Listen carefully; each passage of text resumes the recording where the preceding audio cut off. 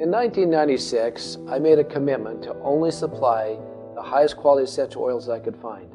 And from that time, I've been involved with many different uh, companies that I supplied essential oils to. In 2009, I started Be Young. That commitment has remained the same from that day to present. I'm constantly searching and looking for a better quality product somewhere in the world that, we, that would meet the standards that we have set. I first heard about sacred frankincense when I was in France. And as Dr. Pénoël and Pierre Franchomme and others were talking about this amazing oil, the, the power of the compounds, the elevation of the boswellic acid, I, I was so intrigued.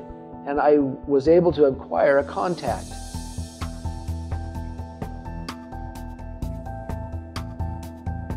He had been taken advantage of by uh other companies and to the point where it had literally devastated his entire family because they've been involved in doing this here harvesting of this sacred frankincense literally for generations upon generations.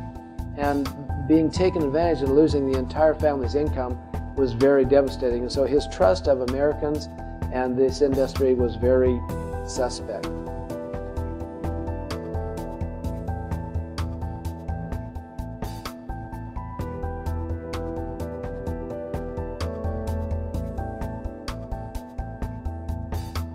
Two years ago, in one of my communications, he started to warm up. And so as we had this conversation, I had to clear the air.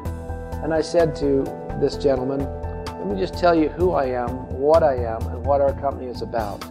As I shared that with him, I felt some real strong reservations.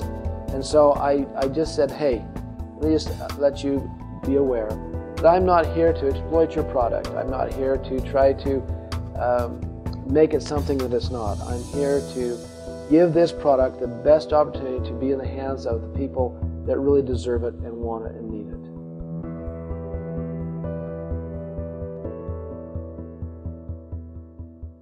And then communication started again. He reached out to me this time. For the first time, he reached out to me.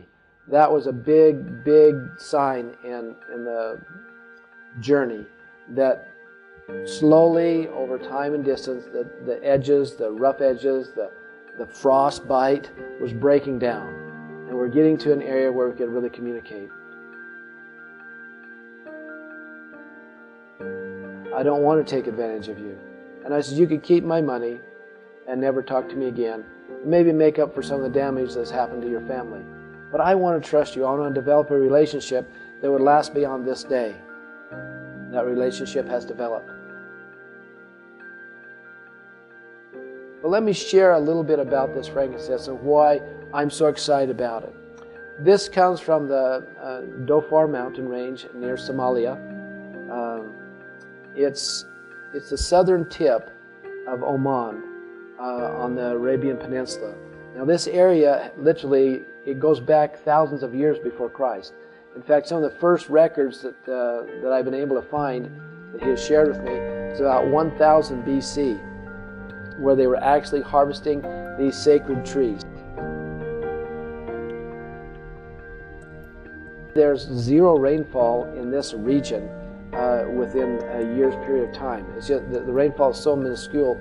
And when you look at the terrain, it is the harshest desert environment you can imagine in the high mountain regions of Oman. And this is where this amazing plant grows. This tree is, is phenomenal. And because of this harsh conditions, the compounds within there are so amazing compared to the other frankincense within the Oman region. And what I mean by amazing, when we look at the, the terpene uh, profile, it is so uh, broad. Instead of having multiple terpenes, it has multiple, multiple terpenes. Sesquiterpenes, monoterpenes, terpenes of alcohol, hydrocarbons of terpene.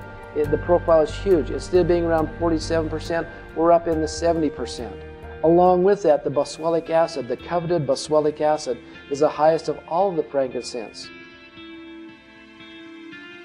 If we look at the archaeological history and the, the scientific history as well as the folklore, this is the region in which uh, three wise men have been reported to come and acquire oils to take to a king.